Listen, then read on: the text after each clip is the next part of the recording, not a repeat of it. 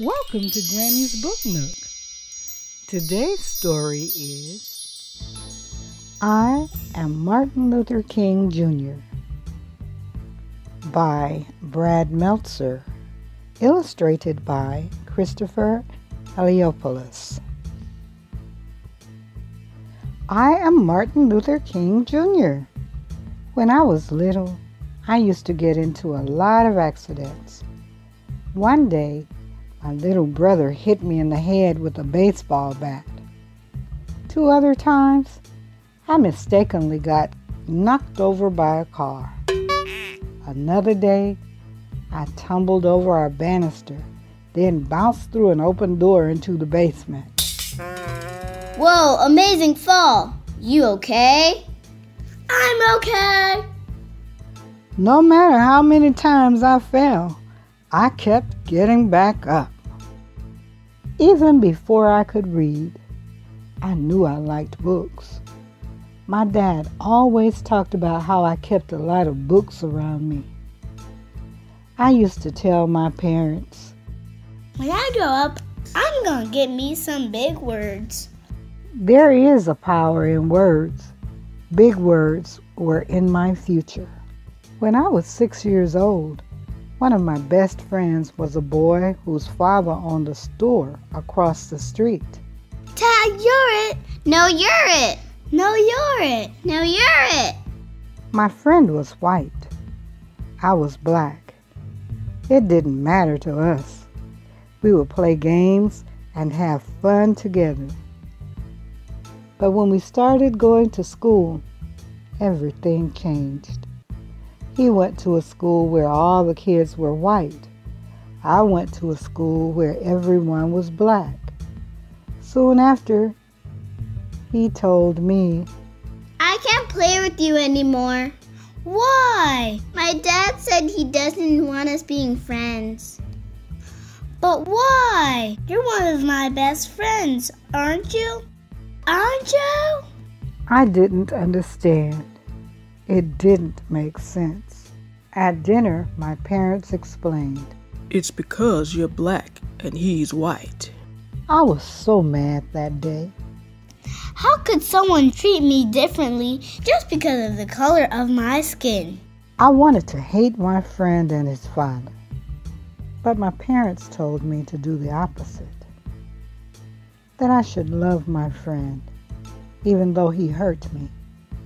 They taught me that it's better to have more love in your life than more hate. Then my mother taught me one of the most important lessons of all. You are as good as anyone.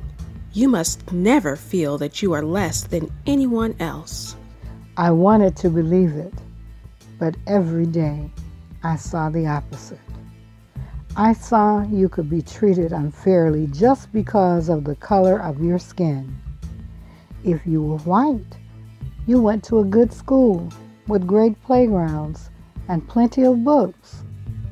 If you were black, your school was small, sometimes with no desk or even windows.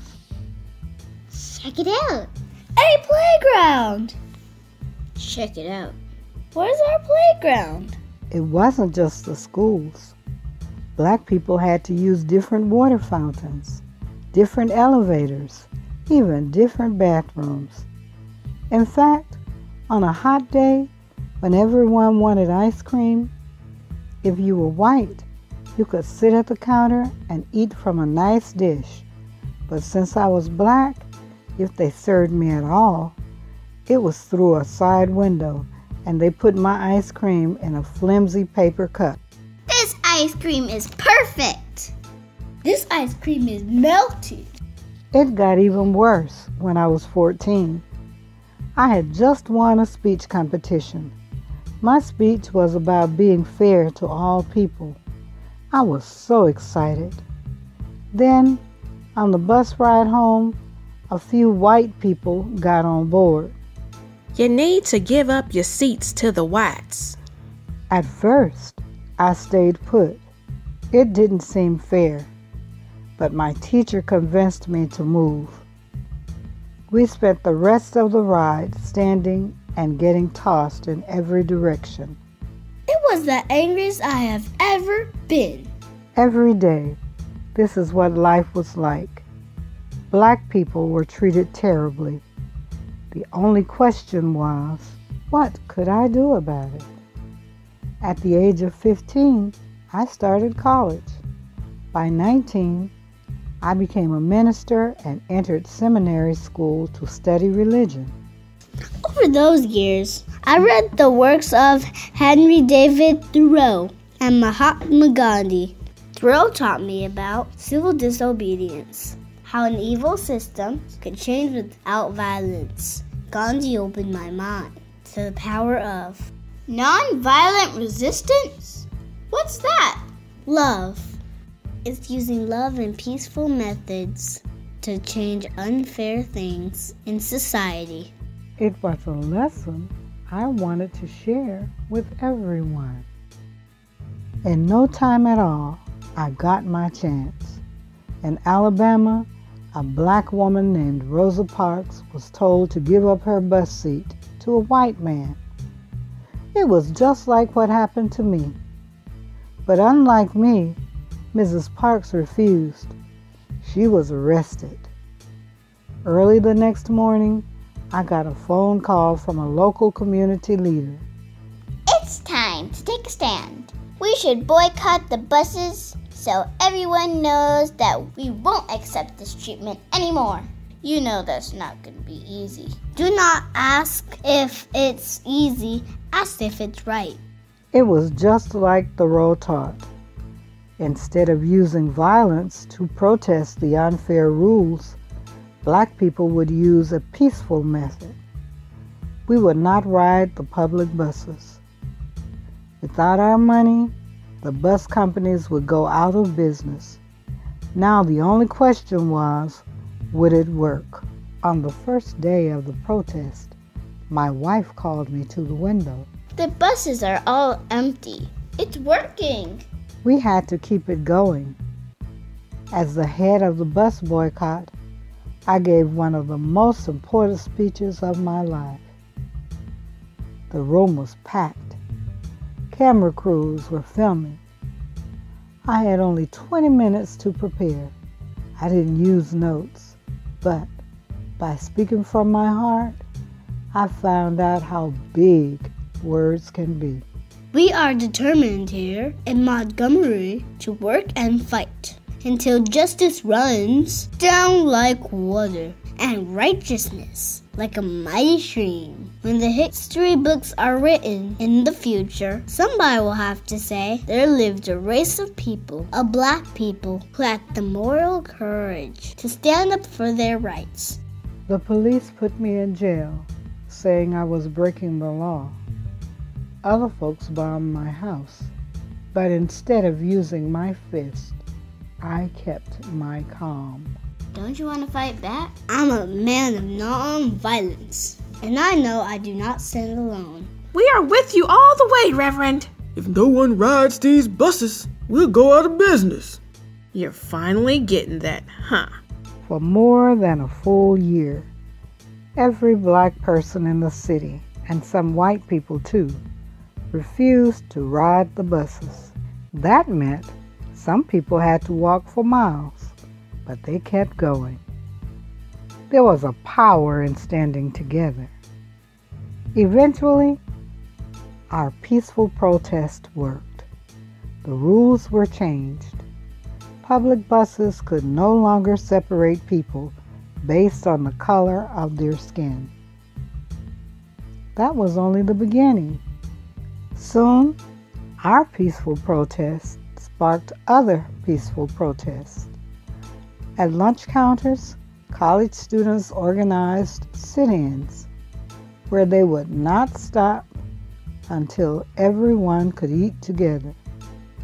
Our methods of nonviolence were so powerful, I was invited to meet with the president at the White House. But sometimes the hardest problems were right at home.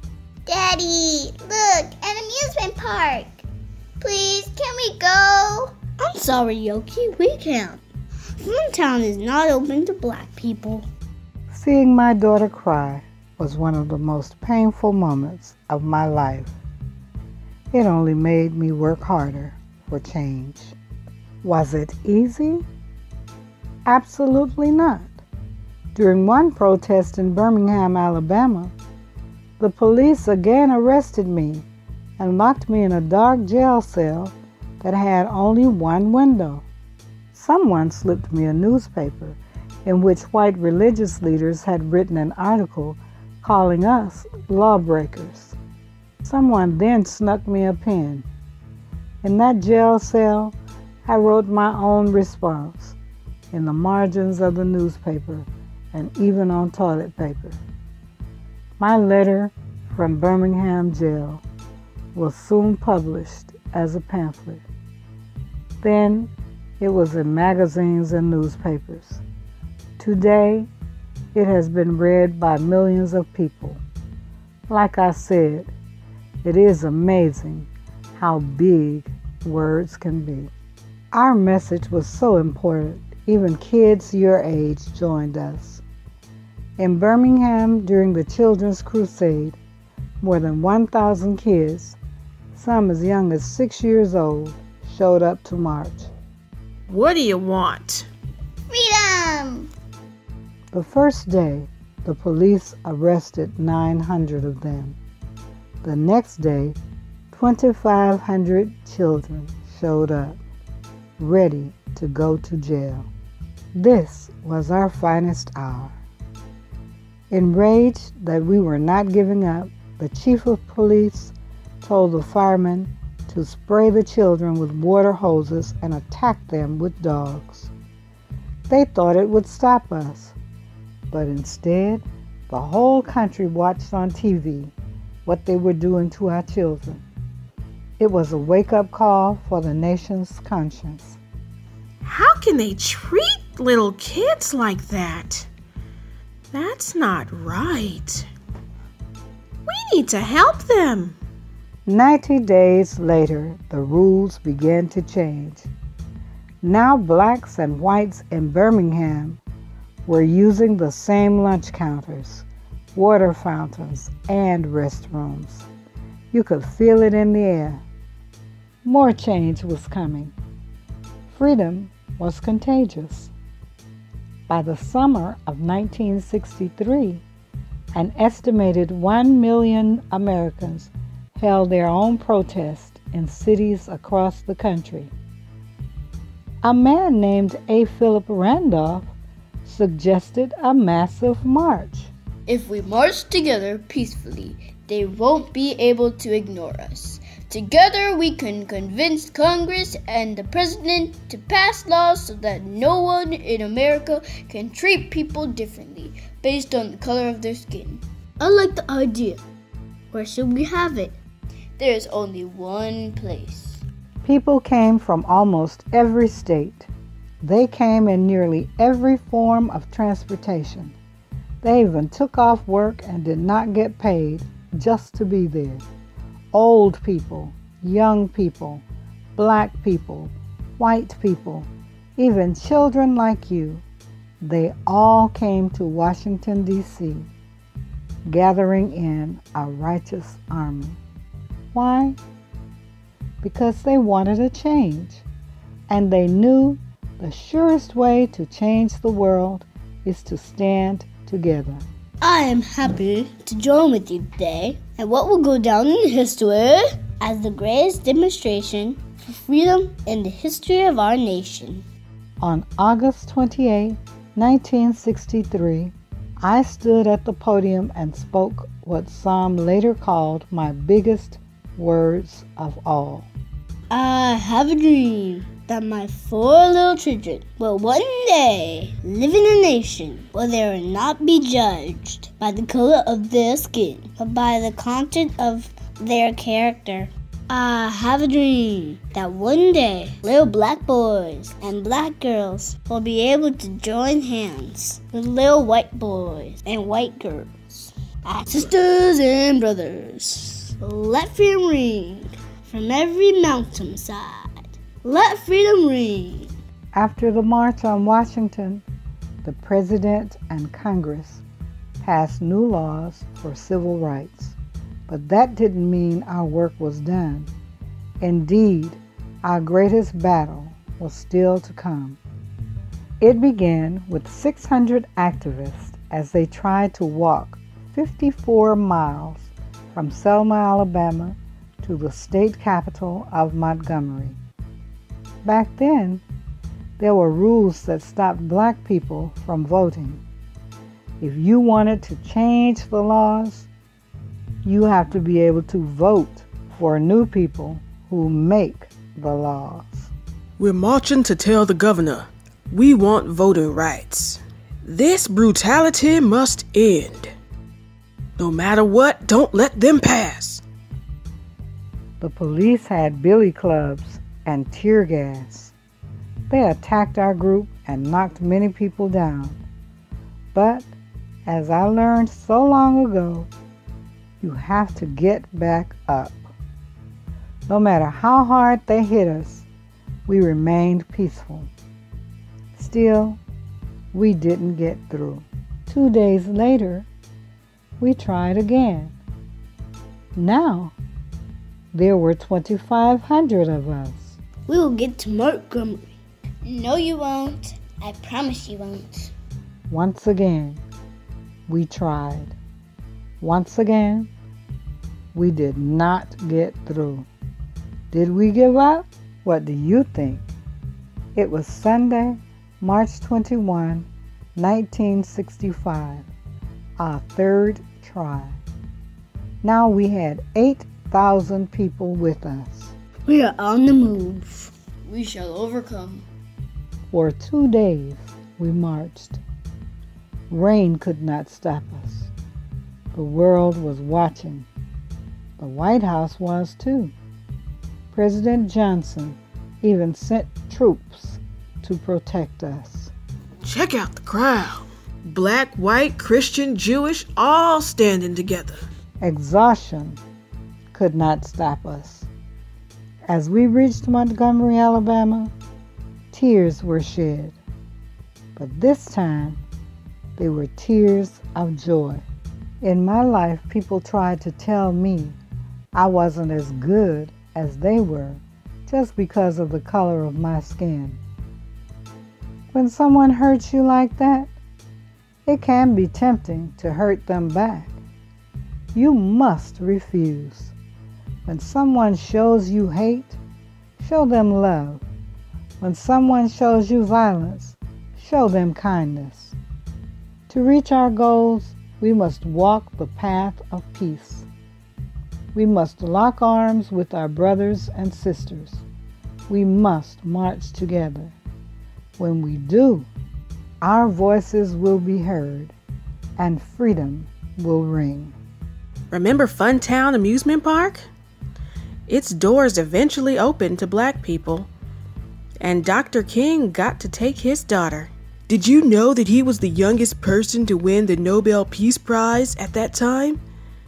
Just 35 years old. He donated the prize money to the civil rights movement. He said that the prize was the work of many other unsung heroes. He fought against poverty too. There's even a national holiday for him, the third Monday of every January. Only Washington and Lincoln get a day like that, and they share theirs. It's a day to remember how far we've come and how much more work there is to do. I am Martin Luther King Jr. I stand for peace. I stand for justice. I stand to help others. I stand as proof that no matter how hard the struggle, we must fight for what is right and work to change what is wrong. Whatever struggle you face, no matter how hard it gets, you must always move forward. I am proof of this. If we rise up, if we stand together, if we remain united, nothing can stop our dream. Thank you for visiting Grammy's Book Nook. To get more information for this book, check the description box below. Be sure to thumbs up this video. Click the subscribe button for the latest videos on Grammy's Book Nook.